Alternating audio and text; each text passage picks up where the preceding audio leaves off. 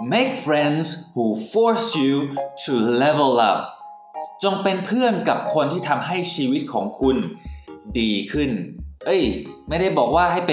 เป็นปริงคบเพื่อนรวยๆ แล้วก็หวังว่าจะได้อะไรจากเขานะ ไม่ใช่ แต่จะบอกว่าให้คบกับเพื่อนที่ไม่ใช่ให้กำลังใจเราเท่านั้นเวลาเราดาวน์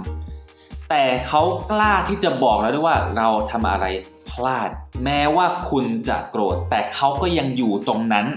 เพื่อที่จะช่วยคุณ พูดตามครับ make friends who force you to level up ถ้าเห็นด้วยให้ช่วยแชร์ครับ แล้วพบกันกับภาษาอังกฤษจริตผู้นำกับเทรนเนอร์เบนได้ตอน 7 โมงเช้า ทุกวันครับ เพื่อนผม ไปไปทำงานกัน